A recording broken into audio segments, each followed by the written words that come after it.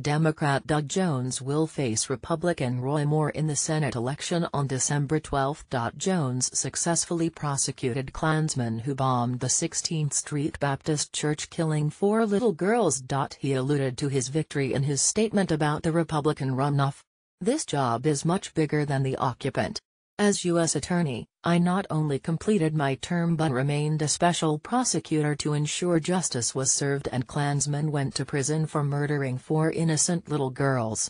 I will take the same seriousness to the United States Senate and ensure millions of Alabamians have a representative who places the people above personal ambition. His entire statement is available below since the beginning of this race. I have focused on issues that matter to the people of Alabama, health care, jobs, and the economy. Unfortunately, there has been little discussion about those issues in the bitter race of the last few weeks. These are not Democratic issues. These are not Republican issues. The people of Alabama deserve a senator who will put aside partisan rancor and address the real needs facing the people of this state.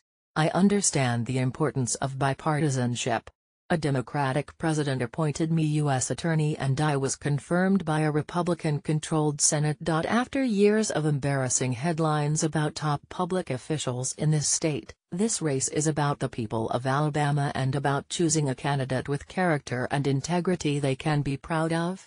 I will never embarrass the people of Alabama. I am running so the people of Alabama can be proud of their next senator. This job is much bigger than the occupant.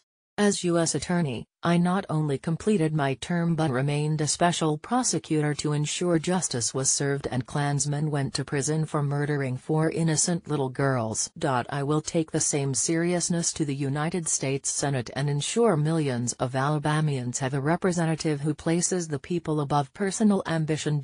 Even though I was not on the ballot today, our campaign has been building momentum for weeks with hundreds of volunteers signing up to join our effort, Republicans reaching out to us throughout the state, and our campaign just finishing our strongest week of fundraising. We started our general election campaign more than a month ago and are seeing increased energy moving toward December 12. Louise and I wish Luther Strange and his family well as he continues to serve the people of Alabama during his remaining time in office.